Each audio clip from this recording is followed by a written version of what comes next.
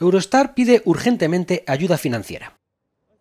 La empresa ferroviaria encargada de unir Londres con París y Bruselas bajo el Canal de la Mancha solicitó este lunes al gobierno británico su intervención para evitar que el emblemático tren deje de circular. A través de una carta a Downing Street, 28 líderes empresariales demandan para Eurostar la misma ayuda que sí se ha concedido a diversas aerolíneas. La compañía no comprende este desigual trato de favor.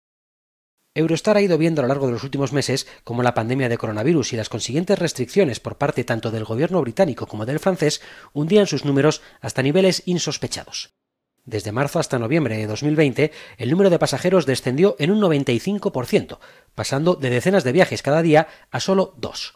Ya en 2021, las restricciones continúan y la situación se hace insostenible.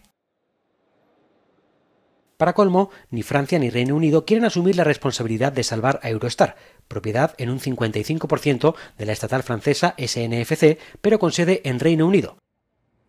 Todo un icono de unión entre europeos que está cada vez más cerca de descarrilar.